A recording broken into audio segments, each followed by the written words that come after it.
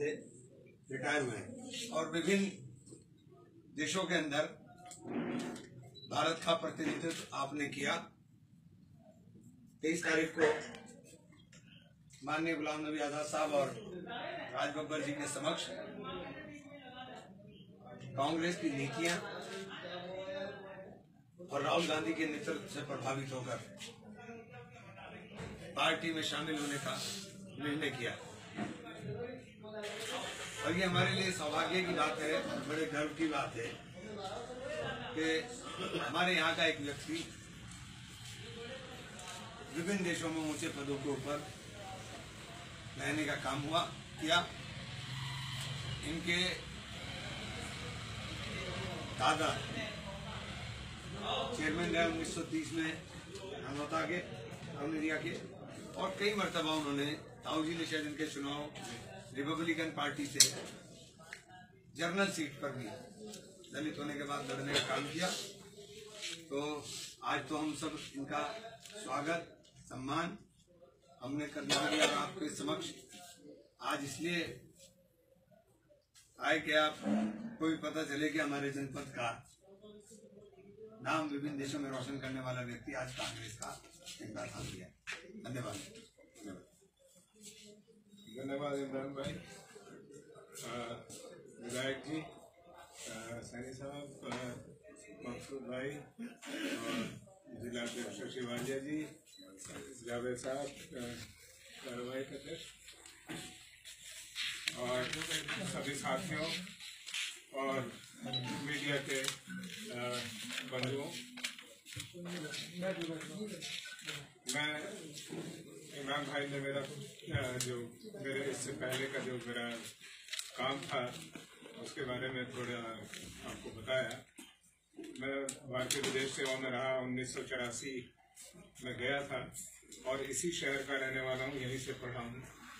गाँव मेरा नारोते के पास जम्बूगढ़ गाँव है और फिर यहीं S M inter college Saharanpur से मैंने इंटरमीडिएट किया था। और उसके बाद J V Jain college Saharanpur से एम ए इंग्लिश और बी एड की शिक्षा पाई और उसके बाद प्रतियोगी परीक्षाएँ लिखी और भारतीय विदेश सेवा में चला गया था। सात आठ देशों में प्रतिनिधित्व किया भारत का और हम देश की सेवा में थे और इस सेवा से निवृत्त होने के बाद हमने ये बड़ा सोचा समझा एक हमारा निर्णय है, जो लिया कि सामाजिक कार्य करना है और सामाजिक कार्य बिल्कुल सीधे तौर पर करना है। और उस सीधे तौर पर सामाजिक कार्य करने में मेरा अपना ये विचार है, मेरी ये विचारधारा है कि कांग्रेस एक ऐसी पार्टी है जो देश के हर वर्ग, समाज के हर वर्ग हर किसी हर वर्ग की अर्थव्यवस्था चाहे वो मध्यम वर्ग हो चाहे वो उच्च वर्ग हो चाहे वो किसान हो मजदूर हो और विशेषकर मैं इस बात पर विशेष दबाव देना चाहूँगा कि दलित वर्ग उन सब का सही न्यायिक प्रतिनिधित्व कांग्रेस पार्टी करती है इसलिए मैंने कांग्रेस ज्वाइन करने का निर्णय लिया। मेरा ये भी मानना है कि मैं अगर कहूँ तो मैं दो चीज़ का अपने आप को सिपाही कहूँगा।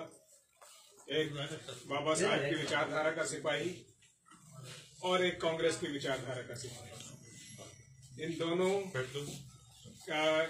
क्षेत्र में कार्य करने के लिए मैं इस मैदान में उतरा हूँ और जो भी ज़िम्मेदारी मुझे कांग्रेस पार्टी देगी, मैं वो सब कार्य करूँगा, आप लोगों के बीच हूँ बीच में रहूँगा, और यही मेरा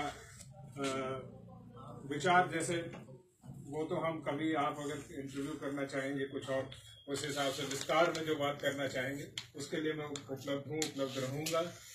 मैं संक्षेप में आप लोगों को ये बता देना चाहता हूँ कि कांग्रेस एक ऐसी विचारधारा है, जिसने, जिसमें से सब विचारधाराएँ निकली, राजनीतिक विचारधाराएँ अगर आप देखो तो पूरे देश की सारी राजनीतिक विचारधाराएँ वहीं से आई हैं। समाजवाद भी वहीं आया। जब भारत आज़ाद हुआ तो कह सकते हैं कि उस समय तीन तरह की विचारधारा थी। आप बोल दो साम्यवाद, बोल दो समाजवाद तो खैर कांग्रेस से ही निकल के आया है। और जिसको दक्षिण पंथ कहा जाता है। लेकिन देश सीधा कांग्रेस के नेतृत्व में आया और वो देश कांग्रेस के नेतृत्व में इसलिए आया कि देश के लोगों को चाहिए था और वो चाहते थे कि देश को दिशा जो है वो कांग्रेस का जो राष्ट्रीय आंदोलन था, जो सत्याग्रह था, जो बलिदान था और उसके बाद समाज के सब वर्गों के लिए जो काम करने की कांग्रेस की नीति थी, उसके वजह से देश कांग्रेस के नेतृत्व में आया था और चला है और चलता रहा है।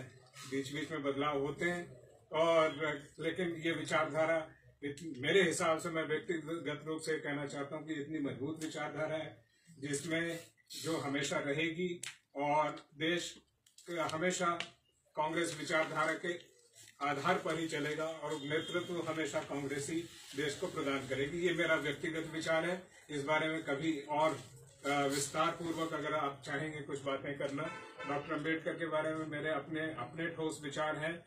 डॉक्टर अंबेडकर को सभी आज बड़े मेरे लिए गर्व की बात है कि सभी राजनीतिक दल उनको अपना कह रहे हैं और अपना मान रहे हैं। लेकिन मेरा ये मानना है कि डॉक्टर अंबेडकर कोई किसी दलित वर्ग या उन, उन, उनके नेता नहीं है। वो देश के नेता हैं। उन्होंने अपने कार्यकाल में जब उन्होंने काम किया तब भी देश को वो चीज़ दी जिससे देश चलता है जिससे देश में शक्ति है और इस देश की न्यायिक व्यवस्था और सबसे बड़ी जिसको अंग्रेज़ी में बोले बोले कि राइट बेस्ड पॉलिटिक्स उन्होंने तभी कहा था कि ये देश ऐसा है ये जातियों में बटा हुआ देश है। इसमें प्रजातंत्र को मज़बूत रखने के लिए मुझे एक ऐसे संविधान के देने की ज़रूरत है, जो नॉन नेगोशिएबल हो। और देशों में ऐसा नहीं है कि उनका जो मूल ढांचा है, उसे कोई भी नहीं बदल सकता। यहाँ तो मूल ढांचा संविधान का ऐसा है जिसे संसद भी नहीं बदल सकती। ये इसलिए क्योंकि डॉक्टर अंबेडकर की विचारधारा थी उन्हें पता था कि देश में किस किस तरह की चुनौतियाँ आगे आएँगी और क्या क्या समस्याएँ आ सकती हैं। वो बहुत बड़े विजनरी थे। उन्होंने पहले ही इसका विजन देख लिया था वो सारे प्रोविज़न उन्होंने इस संविधान में किए। और इस, मेरा पर्सनल कमिटमेंट है कि डॉक्टर अंबेडकर कांग्रेस की विचारधारा में और वो वो व्यक्ति थे जो जो कहना है उन्हें वो कहते थे बहुत अपने स्ट्रॉन्ग विचार और तर्क उनके पास थे। उनके पास अद्वितीय बुद्धि थी। और मैं ये मानता हूँ कि उन्होंने ही कांग्रेस को दिशा दी उन नीतियों की, जिन नीतियों से बाद में देश चला। बहुत बहुत धन्यवाद।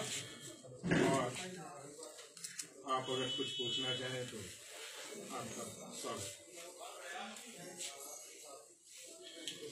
वर्तमान सरकारों के बारे में क्या कहना है आपका? ये तो आपका अपना परिचय था।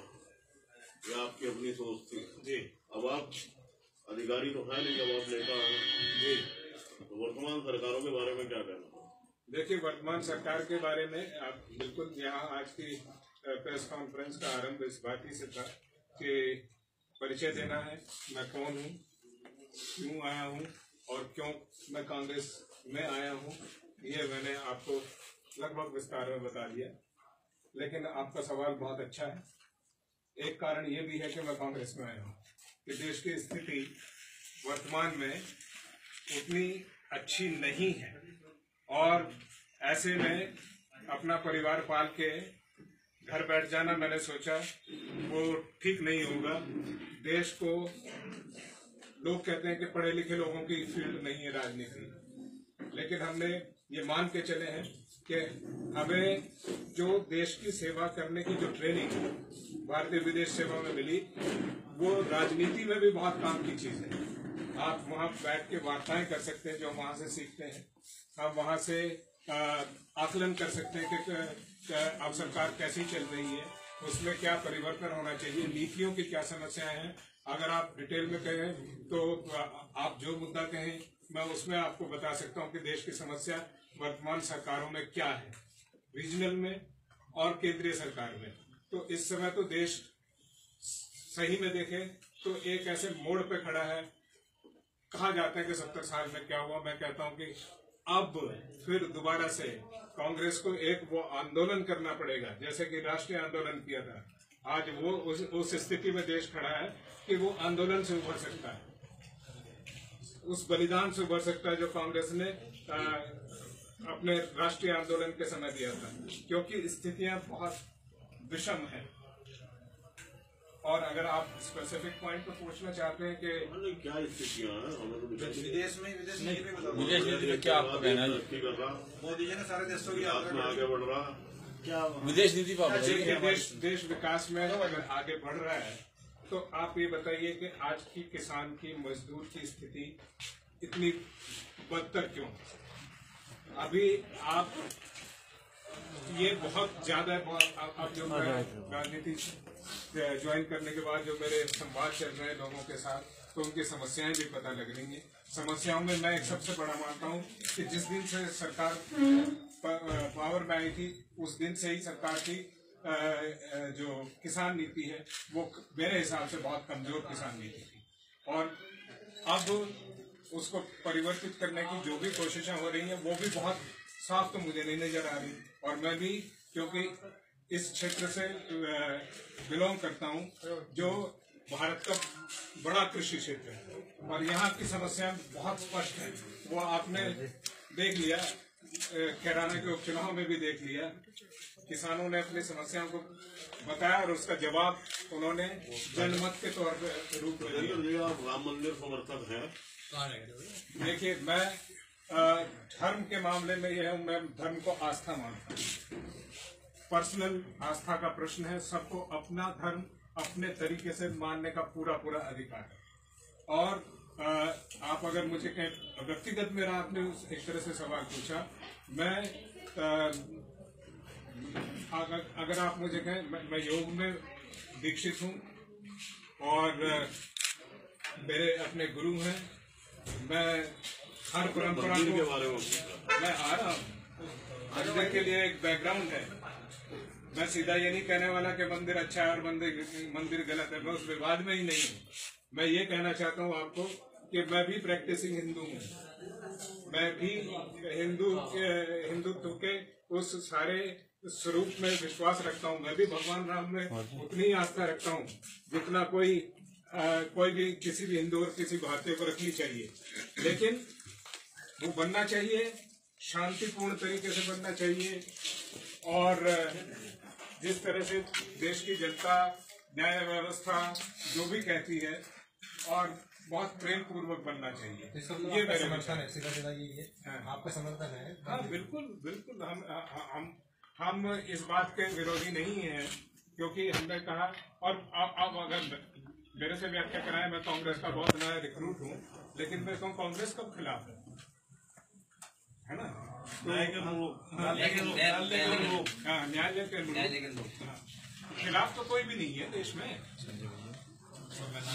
संवैधानिक व्यवस्था के तहत। वो तो मैंने पहले ही कहा। ये तो नहीं कहा आप सबको पुकार दोगे।